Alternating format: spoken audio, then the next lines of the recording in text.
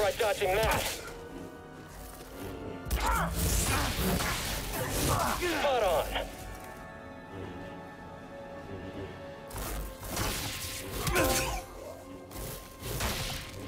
You're doing that!